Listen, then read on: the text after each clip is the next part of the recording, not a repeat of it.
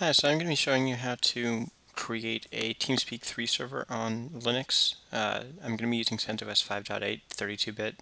It's pretty much the same instructions for anything like Red Hat or Ubuntu or whatever, but CentOS, it's free. It's a good, good, good solid operating system. I actually have a TeamSpeak 3 server running at my home using it right now. Uh, so let's get started. First off, you're going to want to go to uh, CentOS, just Google it, download the version that you want, 32 or 64-bit. I use 32-bit because I, I, I run my server with about 256 megs of RAM, and it runs fine. I pipe a, about 10 gigs of data through it in about 20 days. Not too much, but it, it works. My guildmates don't have a problem with it, so half a gig of RAM, or 256 megs of RAM actually, and a 20 gig hard drive is more than enough to do what you need to do. Uh, so let me, since I, I, I, run my servers on VMware ESX, I, I have an HP micro server running at home with everything on it with 16 gigs of RAM. So I'm not touching my actual server. I'm going to be creating a new server for you guys to, to see what's going on. So instructions may be different for you in getting it set up, but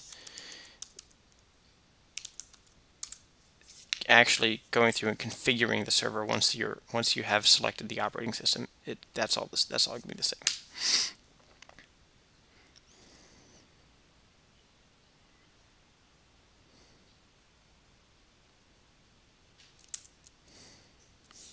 So this is after I've installed the the operating system. This is CentOS saying welcome have a few more things to set up. Yes, I want SSH on. I want the firewall on. I'll show you how to configure the ports later on.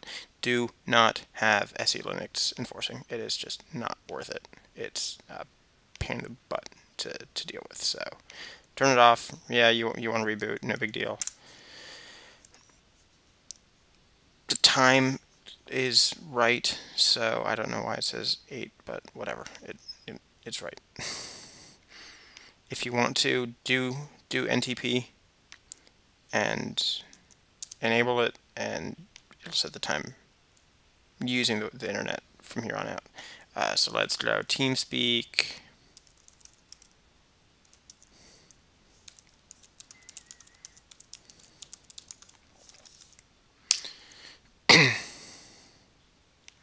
Finish, it'll say, hey, I have to reboot. That's fine. Um, this server actually has more RAM than it needs right now. I just wanted to build it quickly. So if you look here, you see that the server has uh, 2 gigs of RAM, but it has a 20 gig hard drive. And honestly, that's all it needs. It doesn't need much more. So it's starting the new new starting the OS up after I configured the user and created the password and all that stuff. So once this is done, we will go ahead and show you how to uh, install a TeamSpeak.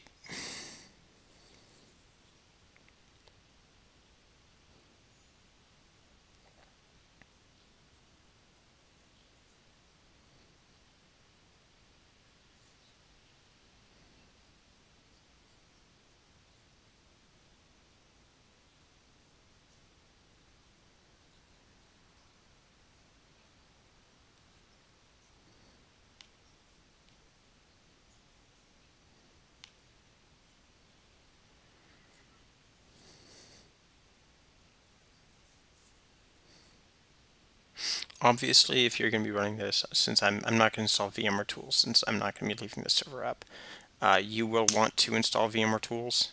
It makes, uh, makes it a lot easier because you have, it, it installs the VMXNet 3 driver, it installs, it allows you to move the mouse out of the window without having to press Control Alt to release it, so you can do that.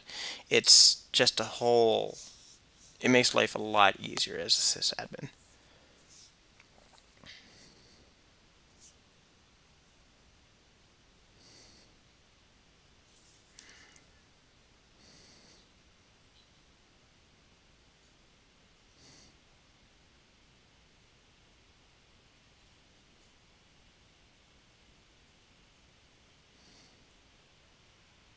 So the first thing you're going to want to do is log in as root.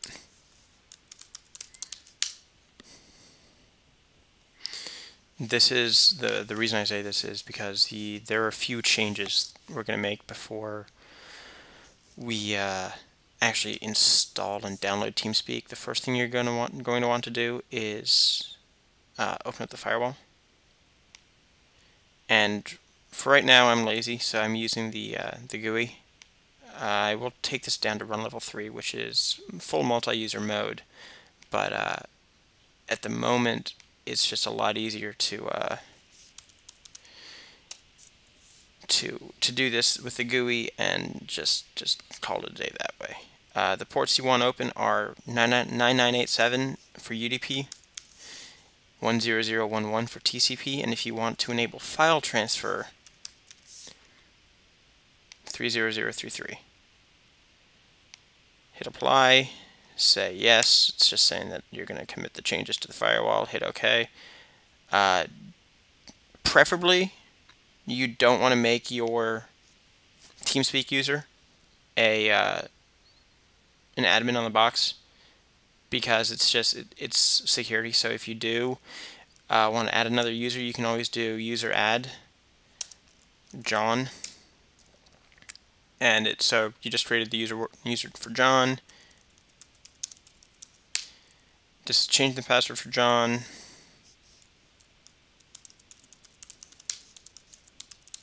Type in secure password and then visudo.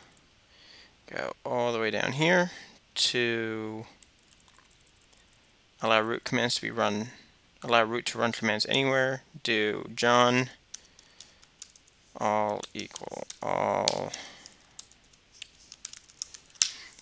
type escape, press escape, type shift colon, right quit exclamation mark enter will uh, save the command, save the text file. Uh, I did forget forget to mention that when you do visudo, when you get to the spot you want to hit I. So if I want to insert something here, press I, type in what you want, hit escape, hit right quit exclamation mark enter, and your changes will be saved. So I'm going to do this, and since I don't want to save the changes, I'm just going to quit and go back, and you see the file's not there. Uh, the next thing you're go going to want to do is go to uh, the internet, and apparently I don't have Firefox on here, which is not a problem.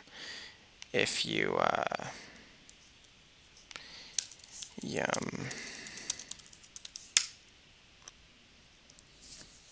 type in yum space install space Firefox, you will then install Firefox.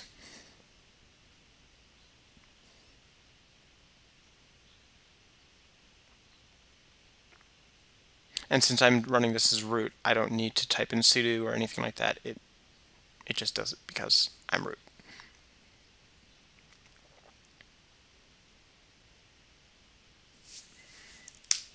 Just yes. It's just making sure that you would read that you're installing Firefox. It's going to take up 44 megs of data or 44 megs of space on your hard drive, and that you're updating the, the PGP key or the GPG key for uh, CentOS 5, which is fine because you know you're installing Firefox.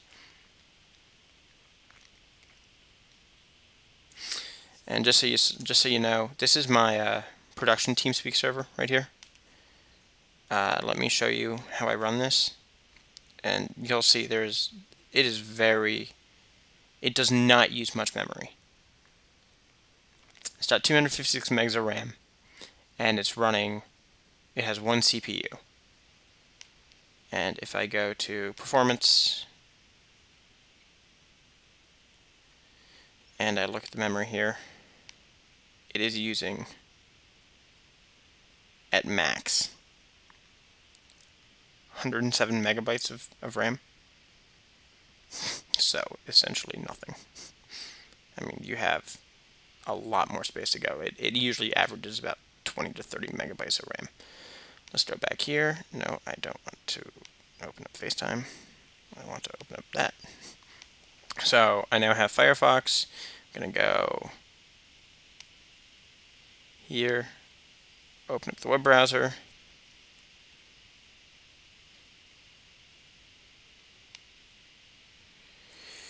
Go to teamspeak.com.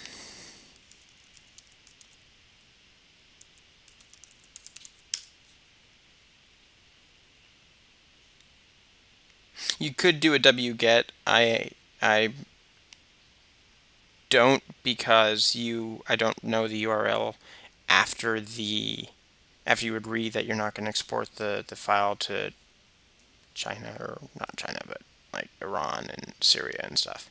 So since this is a 32-bit server, I'm going to choose this one, the server x86. If you're it's a 64, you choose the AMD 64. Hit download. I mean, this is self-explanatory.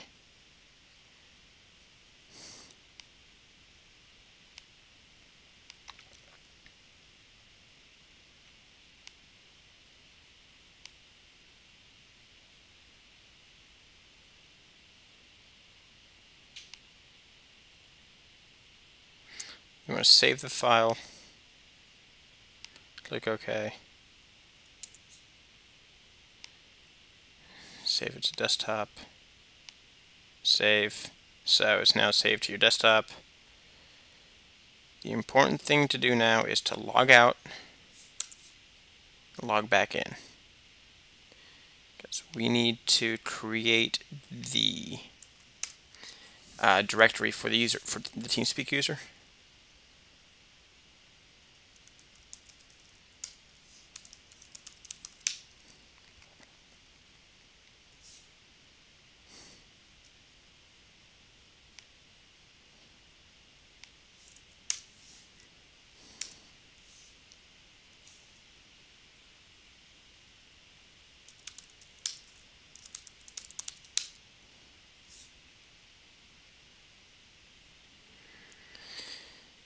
Let's copy this.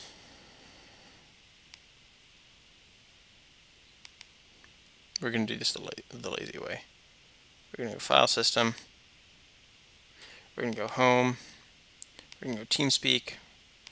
We're going to go des Desktop, and we're going to paste this onto the TeamSpeak user desktop. The other, uh, you can use the MV command or the CP command, but just so you see the the the the, the path, it's uh, slash home slash TeamSpeak or slash home slash user slash desktop or wherever you'd like to move it.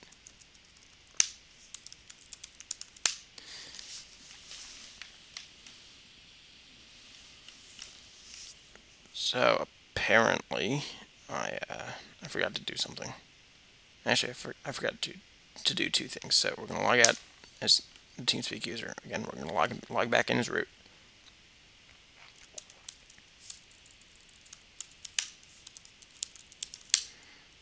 Wrong root password.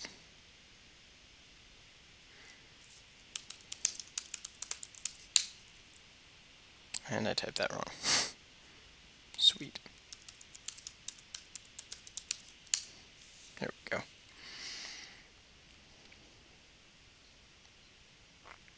So we're going to change the modification to the permissions on that TeamSpeak file. So we're going to go Remember, tab completion is your friend. What I did, I just did slash home, tab, team, te tab, tab, and you're there. Uh, and then I want to go vi slash etc slash init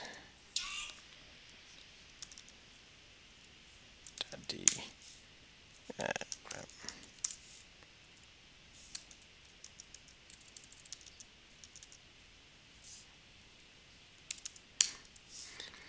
change, you see here where it says ID colon 5, where the mouse is, where the cursor is right now.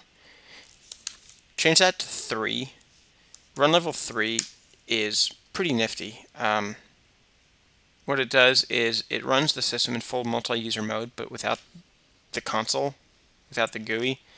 So when we reboot this, it will come up as a much simpler, it'll come up as a system that looks like this it runs it, it requires fewer resources and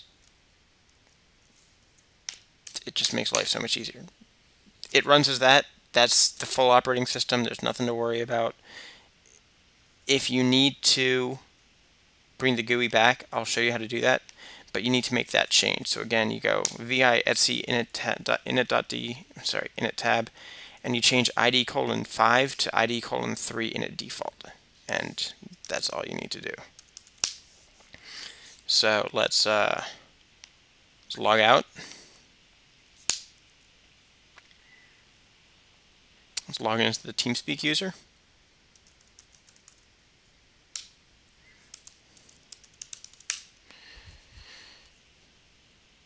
And now we're going to have some fun with the command line. So click on accessories, bring up the terminal, cd desktop, do an ls, you see it's there, so then you want to do a tar dash zxvf, and it shows you what is un unzipping. You then change the directories to the TeamSpeak server, do an ls, and you see that you now have this T ts3 server underscore startscript.sh. So do a dot slash, and you are now running a server.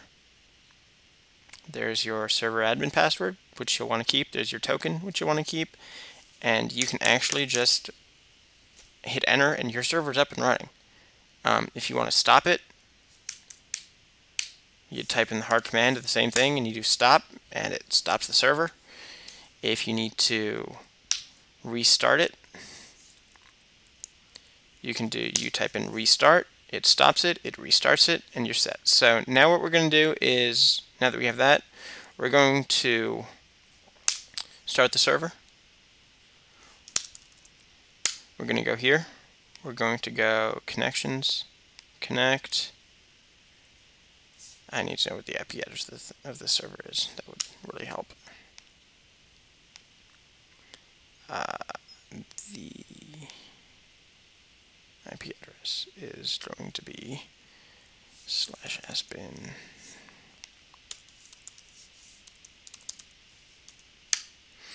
one seven two twenty zero dot fifty eight.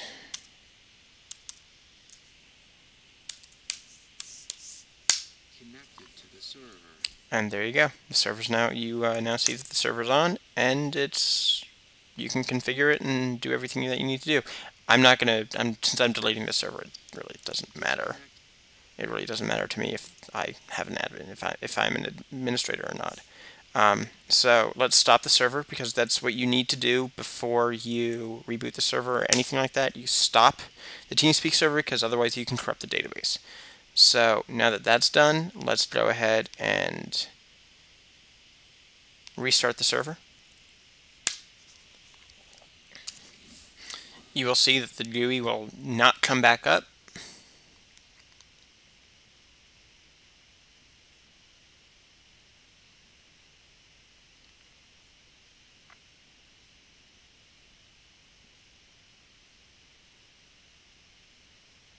The instructions are pretty much the same as for the Mac 2 here.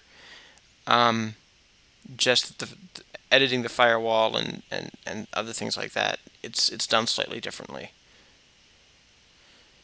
mainly because the Mac has a much more functional, it's not, functional is the wrong word, but the GUI, it's designed more to be used with, with a GUI instead of strict command line. Um, running the TeamSpeak server on a Mac is also, in my opinion, not as good as running it with Linux because you have to keep the uh, terminal window open. At least that was the way it was when I did run it on Mac. I've run it. I've run it on Windows, Linux, and Mac. And uh, Linux, in my opinion, is actually the best system to run it on because it's it, it doesn't require any care and feeding.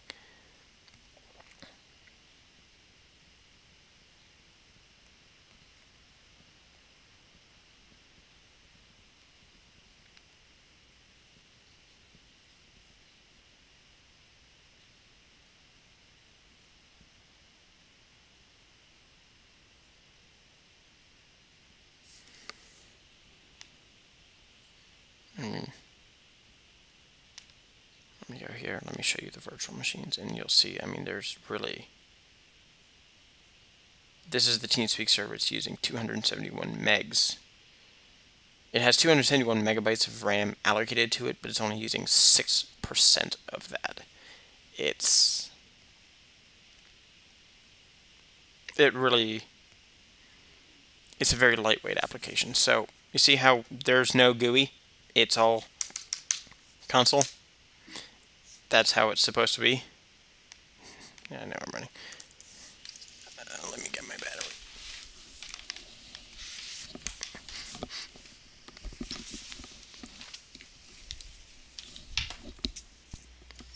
Sorry guys, forgot to charge. Um, so let's log in as TeamSpeak. Logged in. Who am I? Shows you that I'm the TeamSpeak user. So let's go cd slash desktop and do it.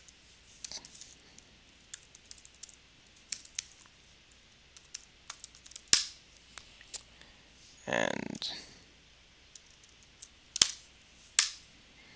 Let's connect back to that server, and we will see that the server is up.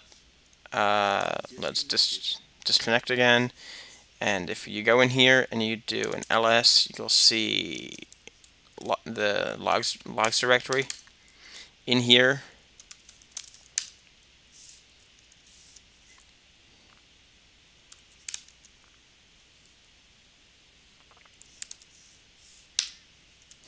sorry. I can do so much better than this normally. These are the logs that shows you what's going on with the server. If you ever need to figure out what is what your old password was, it shows you your server admin privilege key. It gives you it gives you your, your token. It doesn't I, I, it doesn't give you the uh, the password for server admin which you will want to write down and keep in a safe place. Um, but besides that, honestly, that's all there is to, to writing uh, to, or to starting up a server. If you need to get to the GUI, type in init5 if you have it.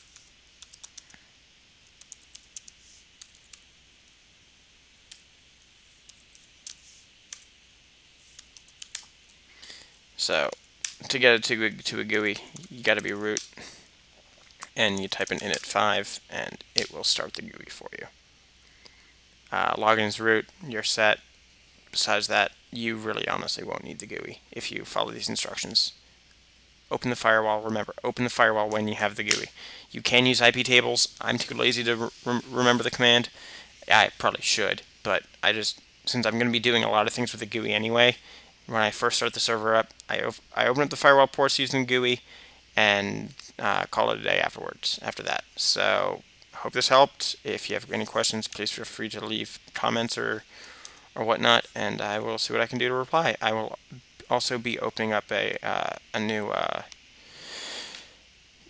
instructions to open up the firewall ports in a later movie, uh, in a later uh, YouTube video. Thanks for watching.